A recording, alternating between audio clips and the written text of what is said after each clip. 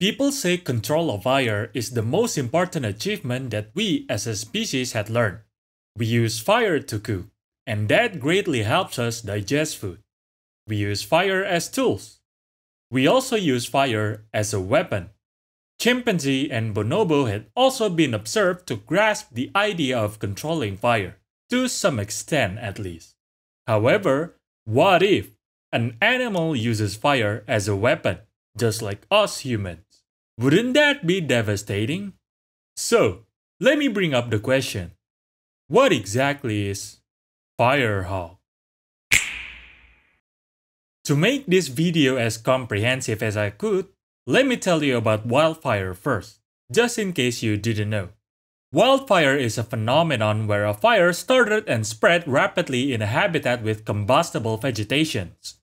The name could vary based on where it starts.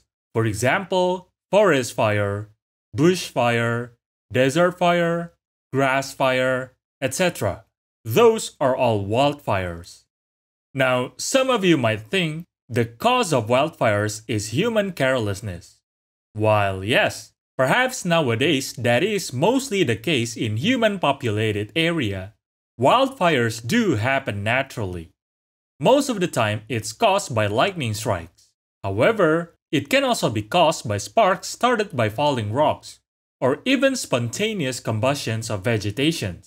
Yes, those are real phenomena, especially for those plants that we extracted vegetable oils from. Natural wildfires are especially prevalent in regions with Mediterranean climates, and, perhaps surprisingly to some people, the taiga forest. Wildfire will stop naturally if it run out of heat, fuel, or oxygen. Because wildfires are natural phenomena, organisms evolve and adapt to it. Some native plants are especially resilient or even resistant to wildfires. That makes them persist and dominant in said area. To put it simply, wildfires benefit them by eradicating their competitor.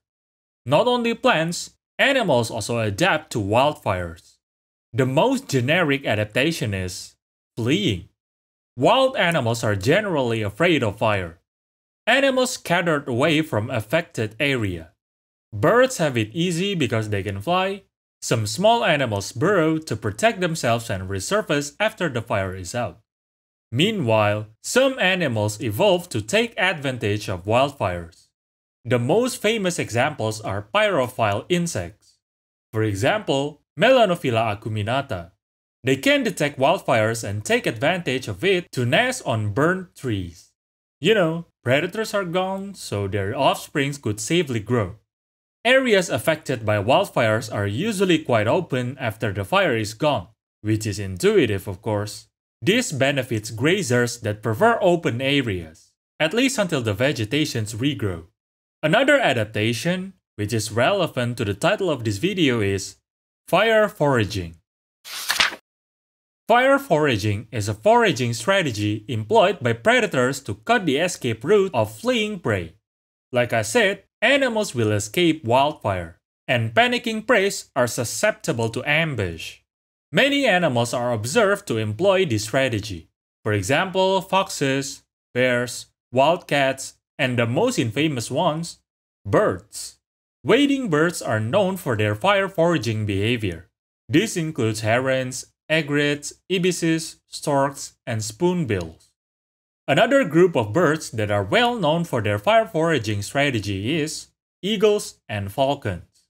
They are often seen circling around wildfires to pick up escaping prey. Some of them don't stop at this point.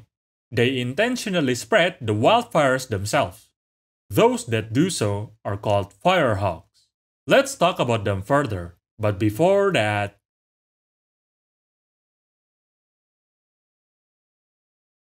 So, what the firehawks do is, they locate wildfires, grab burning branches or grasses, and then drop it somewhere else.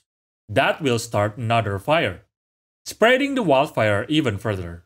Quite simple, but effective. There are also some reports that they do this in groups, each carrying their own sticks. Some even reported that Firehawk locate man-made fire, So they basically can cause a wildfire, not just spreading it. As of now, firehawks are exclusive to Australia. There are three different species that receive the firehawk title. Those are the black kite, Milvus migrans, whistling kite, Haliastur sphenurus, and brown falcon, Falco berigora. However, other species are also reported to employ this strategy. For example, the square-tailed kite and brown goshawk. There are tons of sightings of this behavior by the native aboriginal people from various ethnic groups and regions. Some non-aboriginal people also allegedly witness this behavior, including some academic researchers. Their specific observations are documented in this publication right here.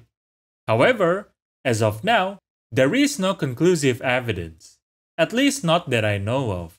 There is no captured video of this, not even a photograph of them carrying and dropping burning sticks. Which is why most are skeptical about these remarks. That is understandable, of course. Good scientific information is based on empirical evidence after all. Another questionable thing is also the fact that somehow these observations are only available in Australia. What's so special about Australia? Why don't these birds do the same in other regions? Because they do exist in other regions after all.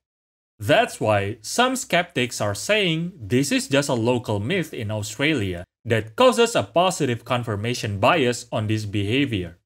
Even if the occurrences of a hawk carrying and dropping burning sticks do truly happen, some people thought there is a chance that all of those are somehow incidental. Because, you know, maybe they carry sticks and then it's too hot for them and they drop it midway. Quite rational, I guess. But that's also a questionable claim, if I do say so myself. I mean, What's the original intention for picking up burning sticks and fly away carrying those in the first place? So many questions. And now, the question is, why are there no evidence?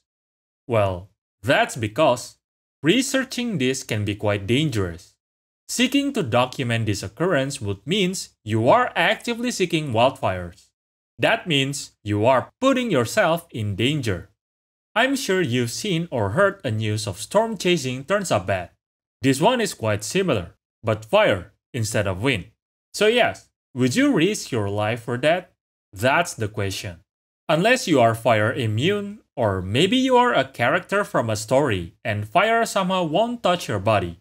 But this is real life, you know. Even if you install cameras on wildfire spots, the cameras could be incinerated by the fire and no evidence will be received anyway. That would waste a lot of resources, especially money. In theory, you could induce the start of wildfire, or perhaps even set up something that can induce firehawks to do their thing. But the problem is, would it even pass the ethical clearance? I mean, you are potentially putting others in danger after all. And also, if you induce said behavior, would that be a good proof that such behavior occurs naturally? It will still be debatable. So yeah, proving this is tricky. Me personally, I believe these birds at least have the capability to do so. Birds are known to be clever after all, especially birds of prey. But still, I would not truly believe it until conclusive evidence are provided. If it is proven to be true, that would be very interesting, because they should also exhibit this behavior outside Australia. And think about it, perhaps there are more obscure myths or hearsays about animals that are actually true but not well documented. That's if, though. Big if true. We'll have to wait and see if we'll eventually get some evidence. For now, let's just learn what is known. And that's all for now. Oh, by the way, no, there is no fireproof animal. Or at least, not that we know of. If you stumbled upon an article that claims so, that is most likely a clickbait. Anyway, enjoy your day.